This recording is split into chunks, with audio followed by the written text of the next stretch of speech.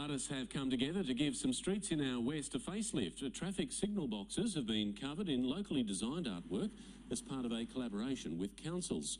Workers are making their way through the region, giving each box a brand new.